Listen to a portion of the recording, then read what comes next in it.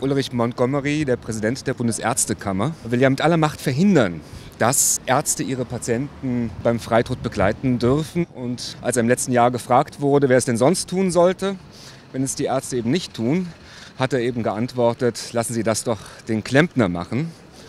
Wir haben uns dann lange überlegt, äh, ob man das ernste Thema Sterbehilfe äh, auf eine satirische Art und Weise aufgreifen kann, wie mit dieser Skulptur der Sterbeklempner haben uns dann aber doch äh, dazu entschlossen, da man die Ungeheuerlichkeit dieser Aussage anders kaum äh, zum Ausdruck bringen kann. Das ist bisher das beste Motiv hier. Wir fragen vor allem, was, was darf man als Arzt und als Patient? Man darf, was im Gesetz steht. Und da steht drin, niemand darf getötet werden.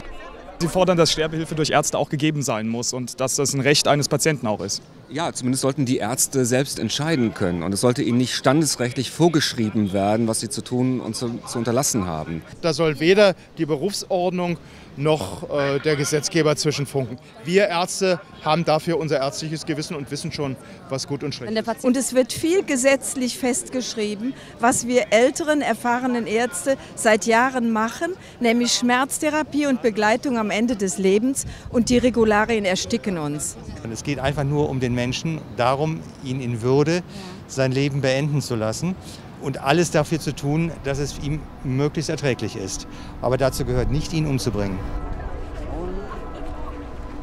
Ja, ich möchte die Selbstbestimmung haben für alle Leute hier und nicht mich äh, christlichem Willen unterziehen lassen. Ganz letztendlich kann man ihn sedieren, kann man ihn schlafen schicken. Ich selber akzeptiere natürlich auch die Freiheit von jemandem, der 80, 90 ist, dessen Verwandte, Angehörige größtenteils schon, schon nicht mehr leben, der sagt, ich habe ein gutes Leben gehabt und das, was jetzt kommt, diesen Abbau, das Leid, die Quälerei möchte ich mir nicht antun. Ich möchte so friedlich sterben, wie auch meine Katze oder mein Hund sterben durfte. Das hilft nichts. Man muss grundsätzlich sagen, an das Leben legt hier bitte in Deutschland niemand die Hand. Es ist so dass wir hier für die Sache eintreten, für unser Selbstbestimmungsrecht bis zum Lebensende und einfach nicht akzeptieren können, dass der Staat oder die Kirche uns das vorschreibt. Der Montgomery, irgendwie muss der mal weg. Kein Arzt kann dazu verpflichtet werden, aber es geht einfach darum, dass die wenigen Ärzte, die dazu bereit sind, das auch machen dürfen. Eine generelle Freigabe wird einen Damm brechen, der einfach meiner Ansicht nach ähm, unzumutbar ist. Wir wissen alle, dass wir ungefähr ja. 10.000 Suizide im Jahr haben. Unter, Umst also unter was für unter ganz auch. grässlichen.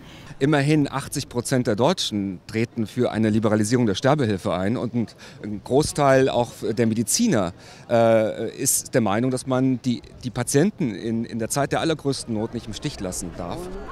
Warum soll er dann nicht Arzt dabei sein? Und warum soll er sich schuldig machen, bitte? Sie haben recht. Ich begleite seit Jahren meine Patienten bis ans Ende ihres Lebens. Und ich kenne sie so gut. Ich bin da sehr stark auf der Seite der Autonomie der Patientin. Michael Schmidt-Salomon, ich bin Vorstandssprecher der Giordano Bruno Stiftung, einer Denkfabrik für Humanismus und Aufklärung. Und wir haben zusammen mit der Deutschen Gesellschaft für Humane Sterben und dem Internationalen Bund der Konfessionslosen und Atheisten im letzten Jahr eine Kampagne gestartet mit dem Motto äh, Mein Ende gehört mir für das Recht auf letzte Hilfe und äh, im Rahmen dieser äh, Aktion für das Selbstbestimmungsrecht am Lebensende stehen wir heute auch hier zur Eröffnung des Deutschen Ärztetags.